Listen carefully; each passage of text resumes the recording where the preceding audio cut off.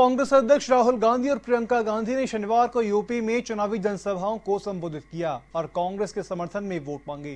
कांग्रेस अध्यक्ष राहुल गांधी ने रायबरेली में गौरीगंज विधानसभा के नदमहर पहुँचे हैं, जहाँ उन्होंने जनसभा को संबोधित करके कांग्रेस प्रत्याशी को जिताने की अपील की। इसके बाद राहुल गांधी ने जगदीशपुर विधानसभा के रानीगंज में भी जनसभा को संबोधित किया। वहीं पर लोकसभा चुनाव में कांग्रेस के प्रचार को गति देने में जुटी राष्ट्रीय महासचिव और पूर्व यूपी के प्रभारी प्रियंका वाड्रा ने उन्नाव संसदीय क्षेत्र से कांग्रेस प्रत्याशी अनु टंडन के पक्ष में रोड शो किया।